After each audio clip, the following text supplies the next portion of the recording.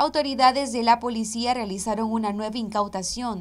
Esta vez en el Distrito 1 ocuparon al narcotráfico un bolso color negro conteniendo dos paquetes de forma rectangular, envueltos en plástico transparente, con sustancia color blanco que dio positivo a cocaína y que estaría siendo valorada en 55.887 dólares.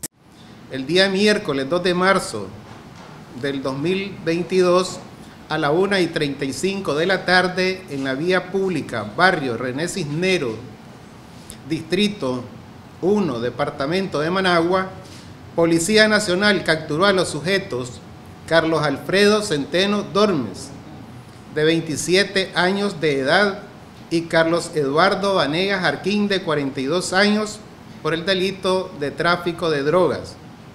En requisa a los detenidos se les ocupó un bolso color negro conteniendo dos paquetes de forma rectangular envueltos en plástico transparente con sustancias color blanco, prueba de campo dio positivo a cocaína con un peso de 2 kilos con 235.5 gramos.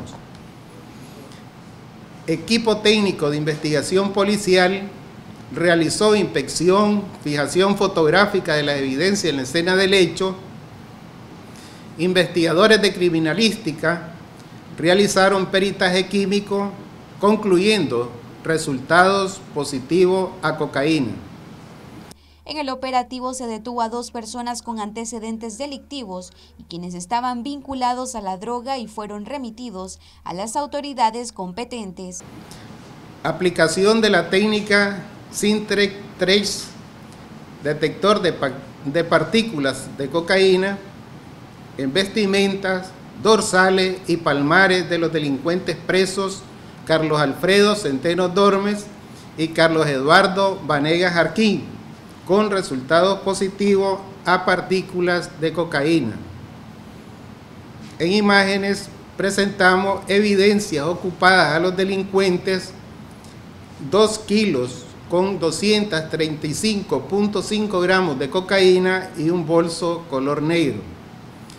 Presentamos a los delincuentes presos Carlos Alfredo Centeno Dormes, con antecedentes delictivos de robo con fuerza, tenencia ilegal de arma de juego.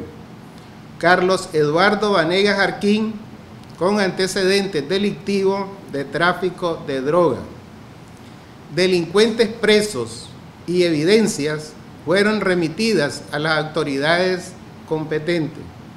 Para Noticias 12, Gabriela Solórzano.